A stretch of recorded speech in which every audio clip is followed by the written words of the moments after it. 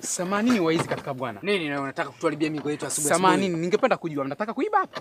Oya, wewe unazingua sasa asubuhi asubuhi, hebu sepa. Mnajua geto hilo la nani? La nani? Geto la Sasa kumbe Kwa geto la kwako mdoto na fungua afungua fast hapo. Kabla hujaendelea kaka. Hapo ndani juu ya meza kuna rozari.